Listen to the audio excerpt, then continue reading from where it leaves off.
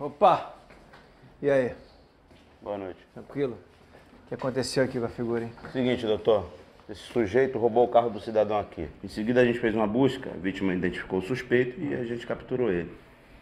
Sei. O que que... Olha pra mim aqui, ó. O que que tá tão bonitinho assim? É, ele resistiu à prisão, né, doutor? Tivemos que usar de certa força com ele. Sei. Hum.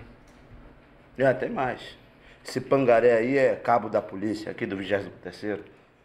Tá de sacanagem. É, mole? Tá que pariu, rapaz. Você é um safado, hein, ô? Cadê teu uniforme, hein, ô princesa? Cadê? Hoje é dia de folga dele, doutor. É, quase lindo, isso é bonito. Um polícia que nas horas de folga é bandido, rapaz. Adorei. Tu faz o que nas férias, hein? Hein? Rouba asilo de velhinho, assalta creche de criança pra roubar bala Juquinha. Tu é um, você é um safado, rapaz. Safado. Ô, Desi, liga pro Capitão Silva da 23ª. Disse pra ele vir pegar a escória dele. Vamos lá no gabinete pegar o depoimento de todo mundo. Vamos? Você é um safado. Vamos lá, gente bonita. Vambora, vamos. Liga aí, mulher. Foi assim, mãe. Meu Deus, que loucura. E agora, o que vai acontecer? Bom, segundo o delegado, depois de todos esses elementos, o flagrante, o fato dele ser policial, essa coisa toda, ele vai ficar preso num batalhão de choque. E vai esperar a audiência com o juiz, que deve ser uns dois meses, mais ou menos. Que absurdo tudo isso. É por causa de um carro. Você podia ter perdido a tua vida por causa da droga de um carro. Eu te disse para não comprar esse carro. Meu filho, nós vivemos num país onde as pessoas elas morrem de fome. É quase um insulto, uma afronta sair por aí dirigindo um carro importado, caro, ostentando que você tem dinheiro. Eu trabalho pra cacete, honestamente, pra ter o meu dinheiro, comprar o que eu quiser com ele. Que, que eu deveria me sentir culpado por ter um carro caro? Não tem culpa que esse país é uma putaria, mãe. Que um bando de políticos, empresários, ladrões roubam o povo. E que um policial precisa sair por aí assaltando os outros no dia de folga porque recebe um salário indecente.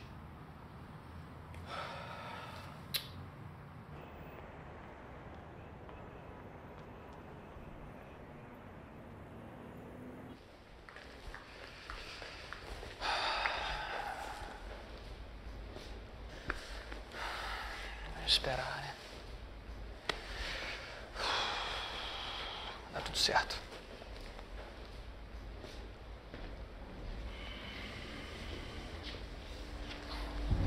Isso. Esse cara tá fazendo aqui na nossa frente.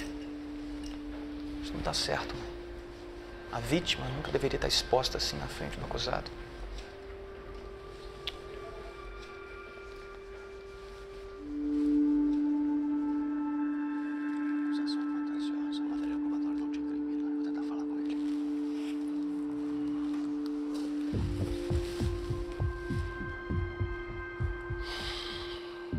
Bom dia, senhor Guerra. Bom dia. Senhora Guerra. Eu poderia trocar uma palavrinha com o senhor? Pode falar. Será que poderíamos sair um instante?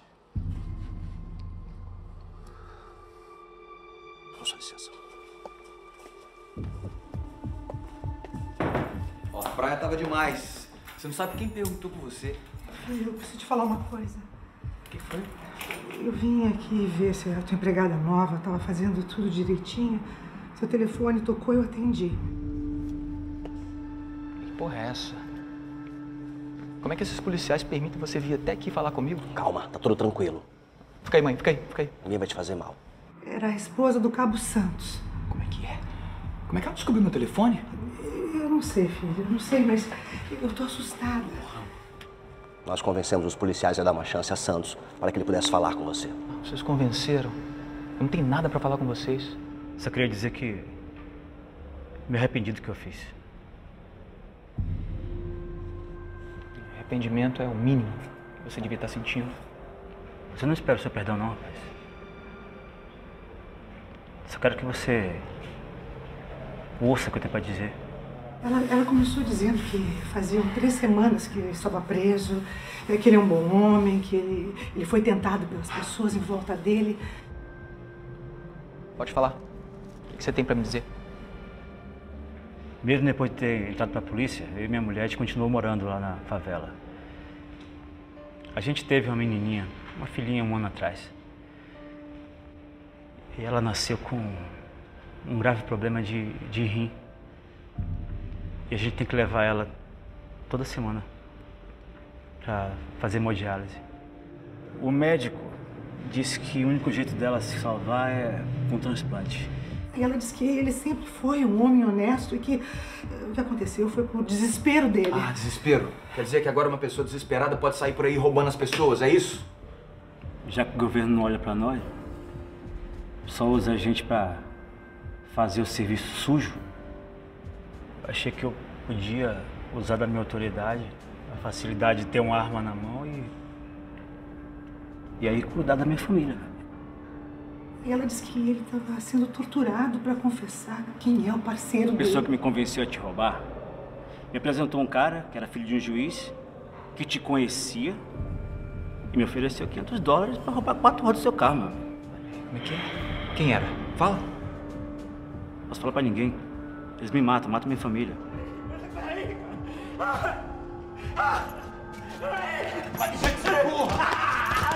Já pega o bando aí. Dá nome pra gente? Dá nome, rapaz. Você dá nome pra nós. É maluco? Você também tem que se cuidar, viu, rapaz?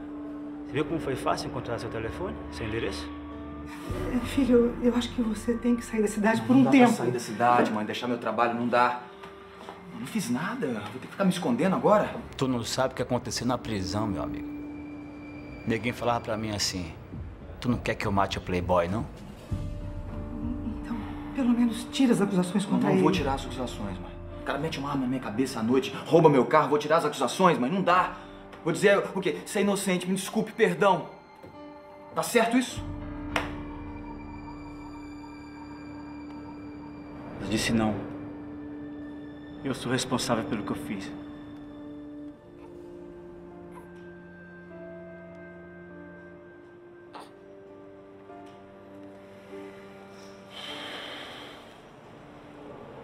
Essa aqui é minha esposa.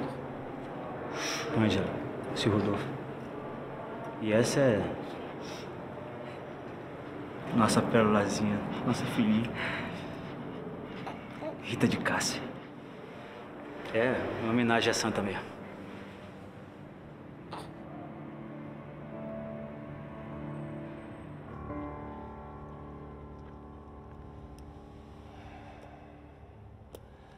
Então, senhor Guerra, o que o senhor está me dizendo é que não reconhece o acusado, Cabo Antônio Santos, como o homem que pôs uma arma na sua cabeça e roubou o seu carro?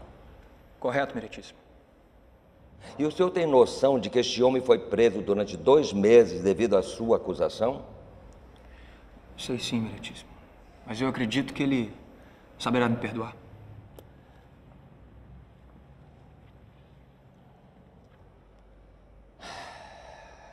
Bom, com essa sua postura perante a lei, eu fico até feliz por Vossa Senhoria não pertencer à nossa categoria. Bem, meritíssimo, com todo respeito, eu devo lhe dizer que vossa categoria é tão errada, tão injusta, que é com muito orgulho que eu não pertenço a ela.